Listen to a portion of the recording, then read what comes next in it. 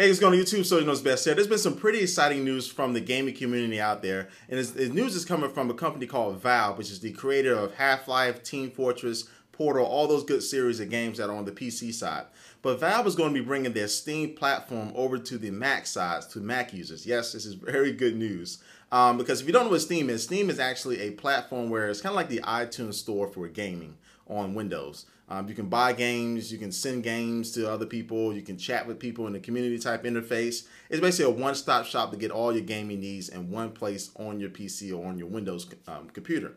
Um, now, but basically, Valve is going to be bringing this Steam platform over to the Mac starting in April. Now, this is really big news because um, you know, every time there's a Mac versus PC battle, right? Each side has its good points. And the one point is that, you know, Macs can't game. That's the one point that a lot of people bring up, which is true. Uh, now, it's not really necessarily the uh, operating system or the hardware Macs can't game because they can definitely game once you put Boot Camp on there.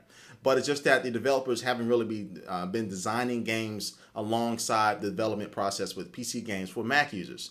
Um, so what's the, what um, what Valve is going to be doing with Steam is that not going to be emulation. They're going to be designing native games right alongside that. So when the next Half-Life game come out, they're going to be releasing a Mac version specifically for that at the same time. The first game they're going to be releasing at the same time is going to be Portal 2, which is a great game. If you haven't played Portal 1, definitely download that. It's a great little uh, puzzle game. It's, it's, very kind of hard to describe. But they're going to be releasing that to um, uh, on the Mac side and the PC side here in, in, the near future. But this is just the beginning of an onslaught of games that are going to be coming. They have a new feature called Steam Play, which is going to allow you to be able to start a game on a PC necessarily. And they use an example, start a game at work, and then you can actually it's kind of like a DVR. You can actually pick it up when you get home on your Mac or your PC at home either. So you can actually, like stop a game, then pick it right back up on your Mac right where you left off. So it's a cool little feature called Steam Play.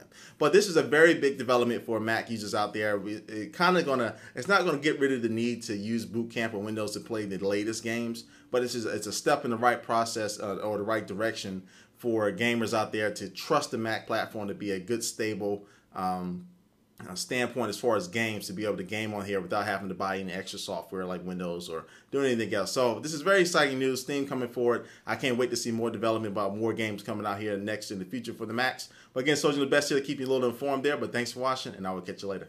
Peace.